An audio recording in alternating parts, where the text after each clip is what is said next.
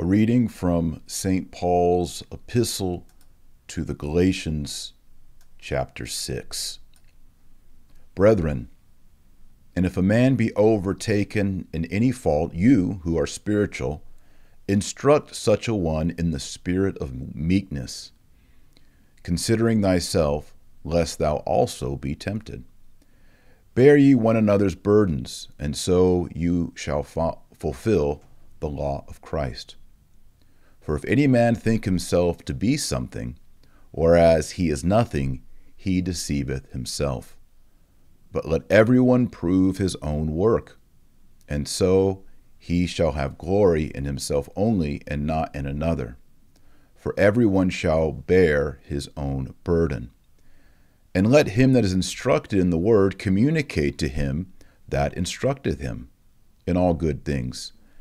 Be not deceived. God is not mocked.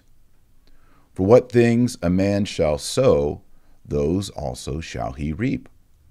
For he that soweth in his flesh, of the flesh also shall reap corruption.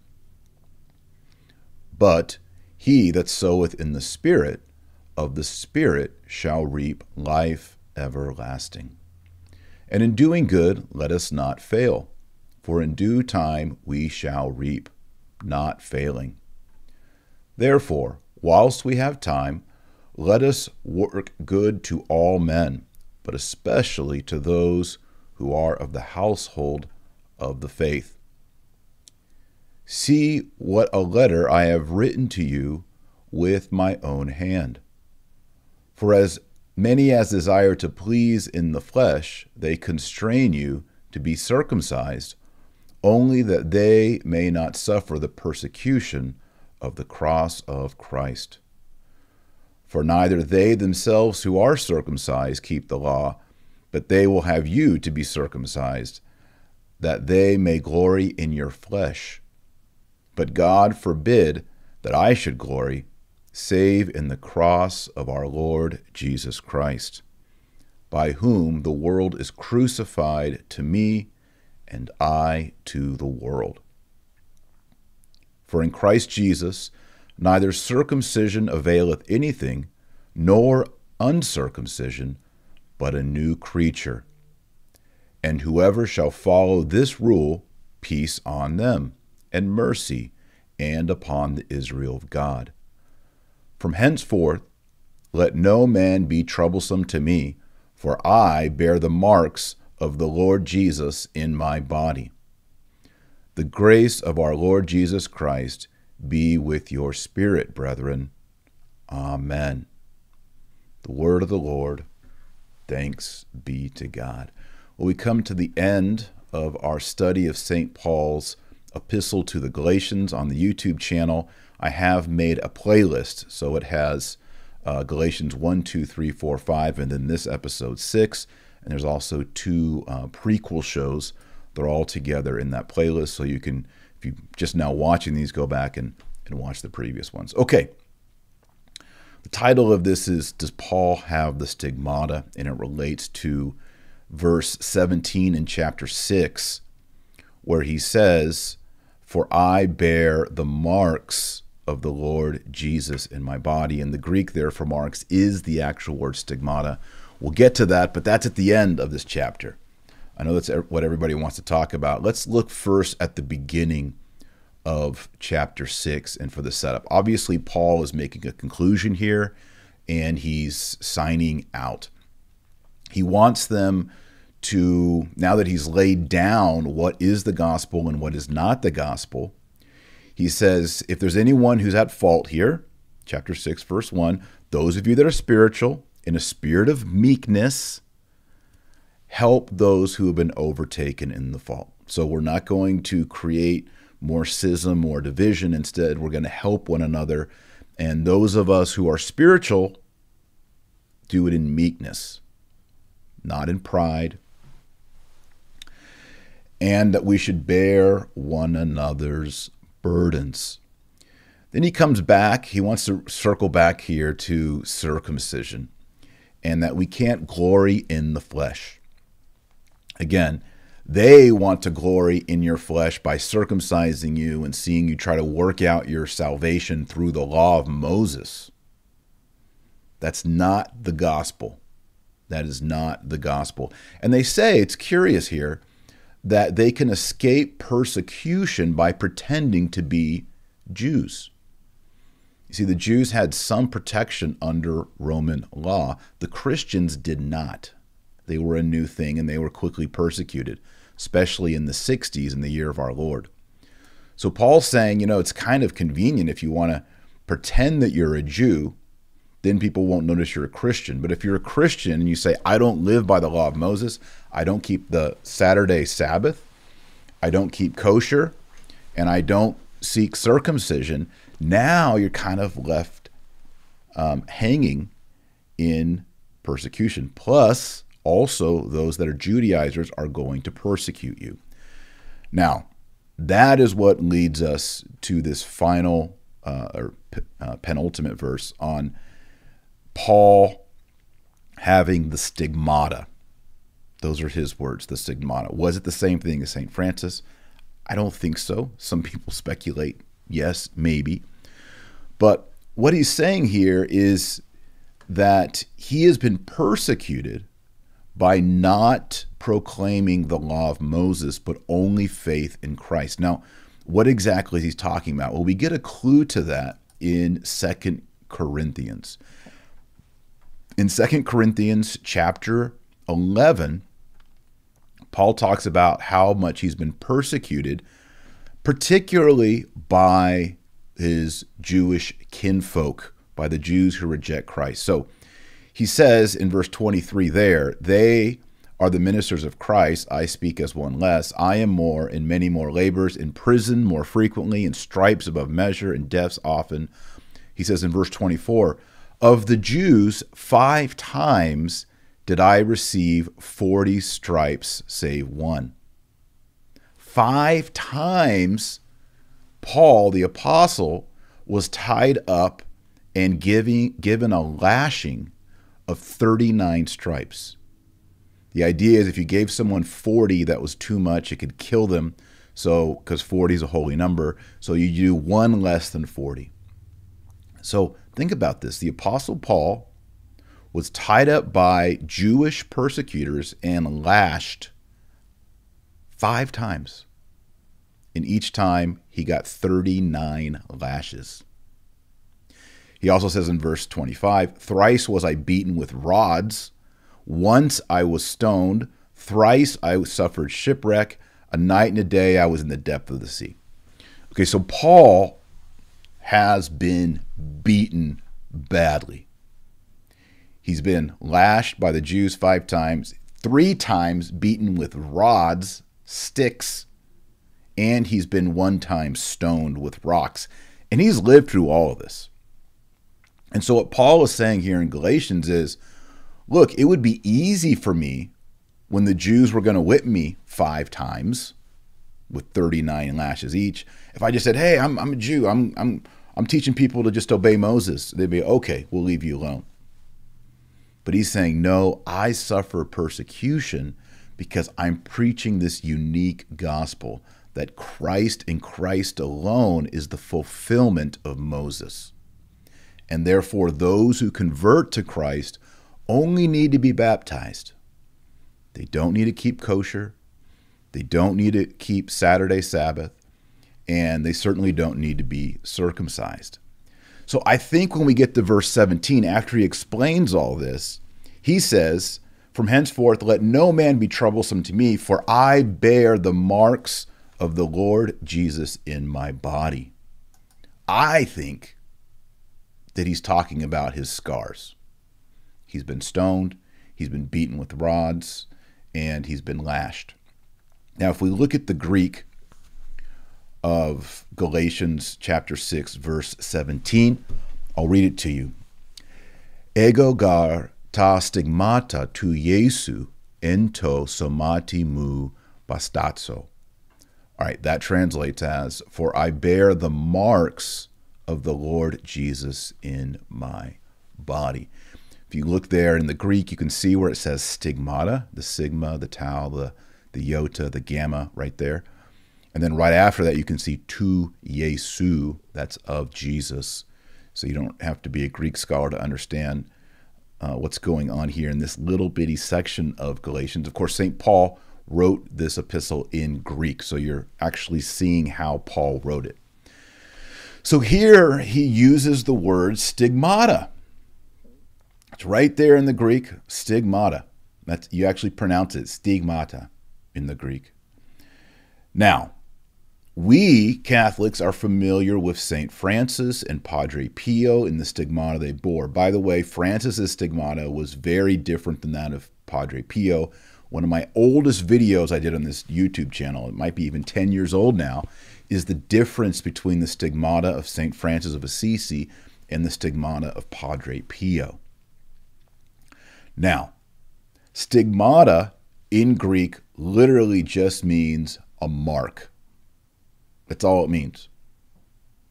So if there's a, a stigma to something, you've probably said that in English. Oh, that's, that bears a stigma. It bears a mark. It's been noted. So in Greek, stigmata doesn't necessarily mean that you're walking around and you have wounds in both your hands and in your feet and in your side, like St. Francis. But Paul is saying that he has the marks, the stigmata of Jesus in his body.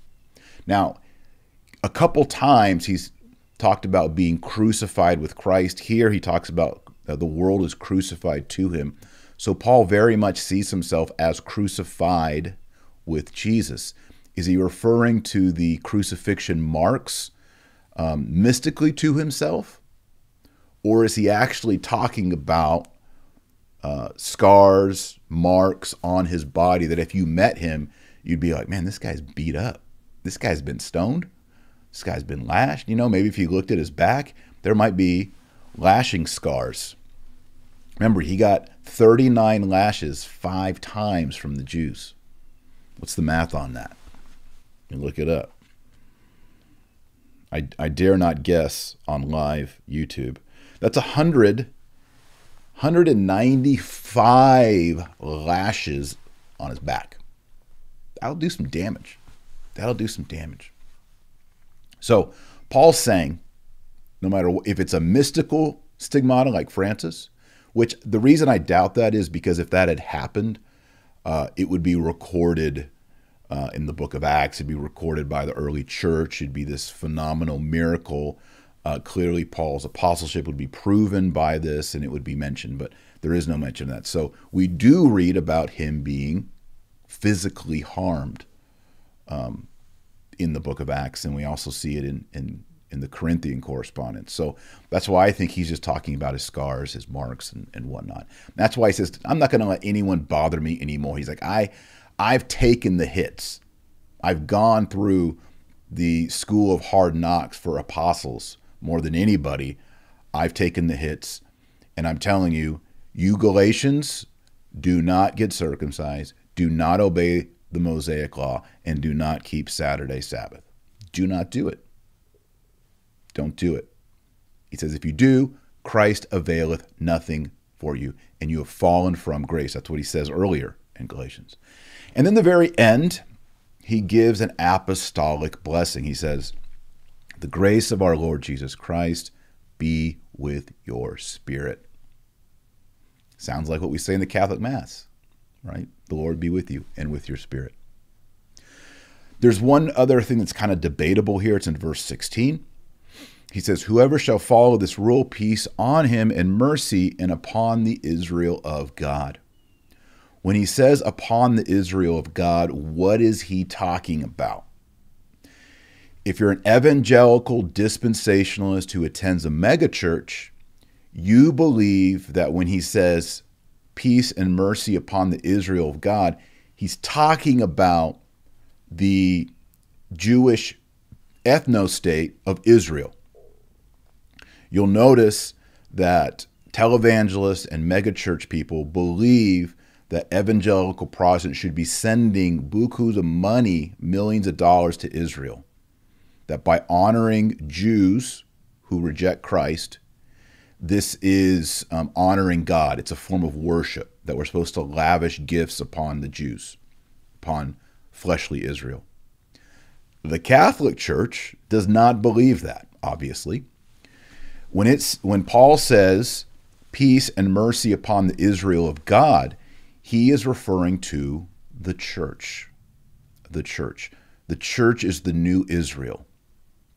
So anytime you're reading the Psalms and it talks about Israel or the tribes of the Lord, as Catholics, we pray the Psalms, and when we hear Israel or tribes of the Lord, we think the church, the Catholic Church. Anytime you're reading the Psalms and you hear the Holocaust, the sacrifices, the blood atonement, we think Eucharistic sacrifice, Eucharist. Anytime we're reading the Psalms and we see the King, the anointed, David, we think Jesus Christ. So we interpret the Old Testament in light of the New, and we see that the Catholic Church is the kingdom of God, and it's the fulfillment of the kingdom of Israel.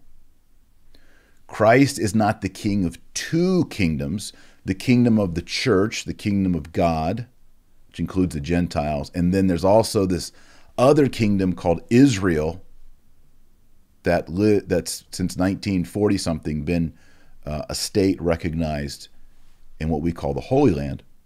No. No. We believe as Catholics that the church is Israel. We are the new Israel.